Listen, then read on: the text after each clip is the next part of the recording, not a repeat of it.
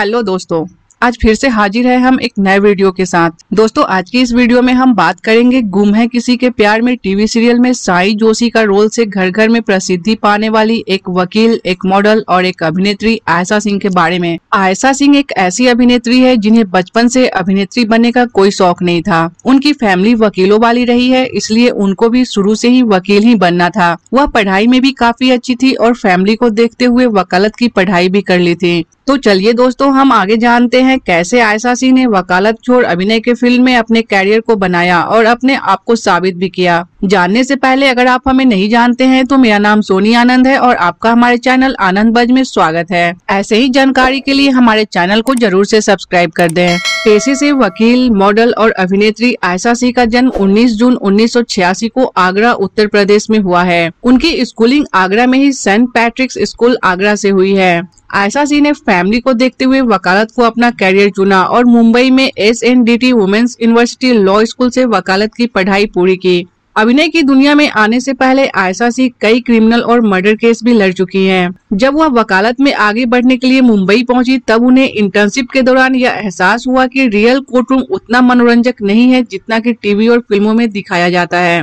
बस क्या था, आयशा सिंह ने वकालत छोड़ मुंबई में ही एक्टिंग वर्कशॉप करना शुरू कर दिया। पहले तो उनका वकालत छोड़ अभिनय के फ़ील्ड में आना उनके पेरेंट्स को बिल्कुल पसंद नहीं था, लेकिन आयशा सिंह ने अपनी वकालत की पढ़ाई को अपने पेरेंट्स पर लागू किया और पेरेंट्स को मनाने में कामयाब हो गई बाद में उनकी पॉपुलैरिटी को देख उनके पेरेंट्स भी काफ़ी खुश हुए दोस्तों, अब हम बात करेंगे आयशा सिंह के कैरियर के बारे में और हम जानेंगे कि कैसे आयशा सिंह ने वकालत छोड़ अभिनय की ओर यू टर्न लिया। जैसा कि हम पहले ही बता चुके हैं, मुंबई में वकालत की इंटर्नशिप करने के दौरान ही आयशा सिंह ने अभिनय की क्लास लेने लगी थी। अभिनय सीखने के दौरान ही उन्हें टीवी शोज़ में छोटे मोटे रोल ऑफ़र हुए और इस तरह से उन्होंने अपना पहला टीवी शो डेब्यू 2015 में आई टीवी सीरियल डोली अरमानो की में रत्ती सिन्हा के रोल से और लाइफ हो गई की सीरियल ज़िंदगी अभी बाकी है मेरे घोष्ट में, एमी डी कोस्टा के रोल से की। उनके अभिनय को देखते हुए ही उन्हें साल 2017 में बॉलीवुड डेब्यू करने का मौका मिला फ़िल्म अदृश्य से। इसके बाद वह comedy web series ladies driver में भी नज़र आई। लेकिन कहते हैं ना, एक अभिनेत्री को अभिनय के तौर पर सबसे बड़ी सफलता तब मिलती है जब वह दर्शकों की पहली पसंद बन जाती है। कुछ ऐसा ही हुआ साल 2020 में शुरू हुई टीवी सीरियल गुम है किसी के प्यार में से। इस सीरियल में आयशा सिंह को मौका मिला नील भट्ट के ऑपोजिट साई जोशी के किरदार में लीड रोल में अभिनय करने का। इस सीरियल में साई जोशी के रोल से आयशा सिंह रातों रात स्टार बन गई और लोगों की पहली पसंद भी बनी।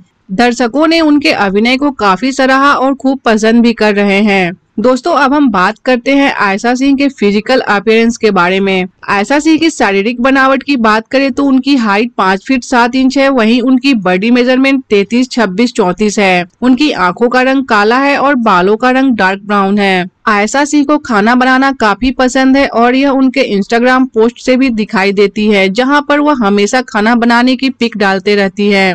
आयशा सिंह एक अच्छी मॉडल वकील के अलावा लेखक भी हैं। तो दोस्तों, यह रही आयशा सिंह के बारे में उनके लाइफ से जुड़ी अभी तक की पूरी जानकारी। दोस्तों, आयशा सिंह, आपको कैसी लगती है और उनका अभिनय आपको कैसा लगता है, हमें कमेंट करके ज़रूर बताएँ। और ऐसे ही वीडियोस के लिए हमारे चैनल पे बने रहें और सब्सक्राइब करना बिल्कुल ना भूलें।